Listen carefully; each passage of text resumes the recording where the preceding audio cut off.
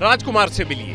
बिहार के छपरा के रहने वाले हैं। बीपीएससी में नौकरी मिल जाए इसके लिए दिन रात एक किए हैं। प्रक्रिया चल रहा है अच्छा चल रहा है। रोज़गार तो मिल रहा है सभी को मिल रहा है रोज़गार यहाँ पे बिहार में। सरकार अच्छा चल रहा है। बस हम लोगों को रोज़गार मिलना चाहिए। नौकरी की उम्मीद तो कंपटीशन के छात्र ओम प्रकाश यादव को भी है। उम्मीद हो भी क्यों ना? यकीन है एक ना एक दिन कामयाबी से मुलाकात हो ही जाएगी। हम लोग तो बिहार में है जनरल कंपटीशन है। बिहार तो कंपटीशन का हब सब शुरू से ही माना जा रहा है। यहाँ सबसे ज़्यादा कम्पिटेटिव छात्र रहते हैं। और बिहार सरकार अगर जो कहीं भी अगर नियुक्ति निकालती है अगर जिसमें उस हो जाए वो समझिए वो हमारे लिए अच्छा ही है। जी स्थिति बहुत अच्छी है।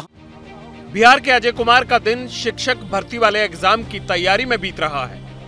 पिछली बार भी बीपीएससी दिया था लेकिन क्लियर नहीं हो पाया।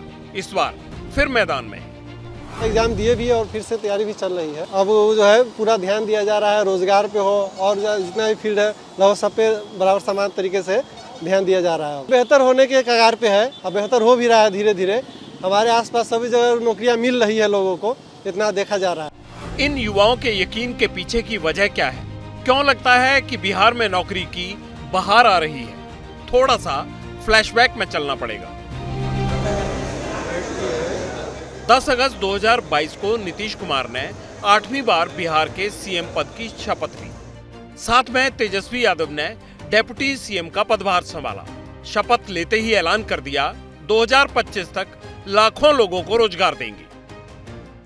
सरकार बनती है तो पहला दस्तखत जो होगा हस्ताक्षर जो होगा वो दस लाख नौजवानों को रोज़गार देने का होगा। जो कि स्थायी होगा सरकारी होगा।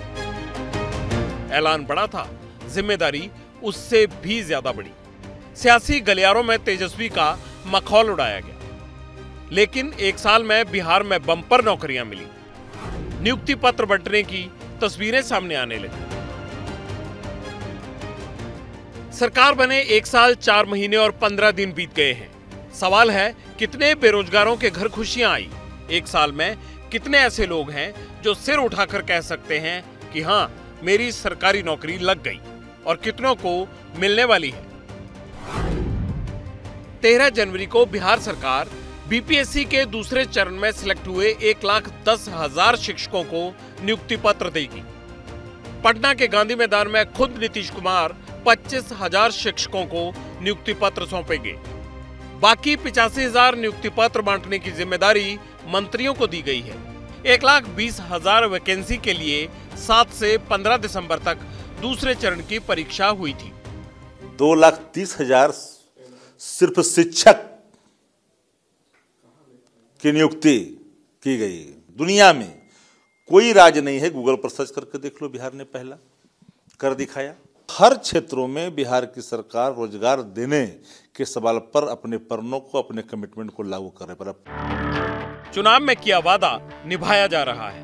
बिहार की इमेज बदल रही है। सवा दो लाख शिक्षकों को नौकरी देने वाला बिहार दुनिया में टॉप पर है। 2 नवंबर 2023 को बिहार की महागठबंधन सरकार ने एक ही दिन में एक लाख बारह हज़ार शिक्षकों को नियुक्ति पत्र बांटे थे। बीपीएससी शिक्षक भर्ती के पहले चरण में एक लाख चालीस हज़ार से ज़्यादा वैकेंसी निकाली गई थी। नौ लाख से ज़्यादा अभ्यर्थी पहले चरण की परीक्षा में शामिल हुए। जिसमें से एक लाख बारह हज़ार ने एग्ज़ाम क्लियर कर दिया। ये 16 महीने में दी गई नौकरियों का लेखा जोखा है। दो महीने बाद बिहार में फिर मंच सज रहा है। नियुक्ति पत्र बांटे जाएँगे। दावा है कि करीब चार लाख नियोजित शिक्षकों को भी राज्यकर्मी का दर्जा मिलेगा। कैबिनेट की मोहर लग चुकी है। लेकिन उसके लिए नियोजित शिक्षकों को एक परीक्षा देनी होगी। नियोजित शिक्षकों को तीन बार ये परीक्षा देने का मौका दिया जाएगा। जो सफल होंगे, उन शिक्षकों को राज्यकर्मी का दर्जा दे दिया जाएगा। मतलब नौकरी परमानेंट हो जाएगी।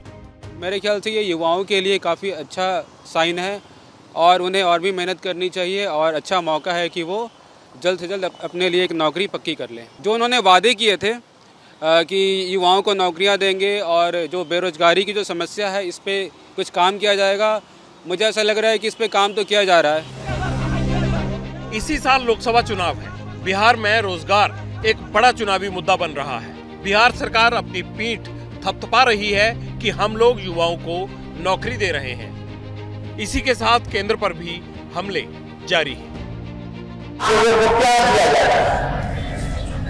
बीमार अस्पताल मदद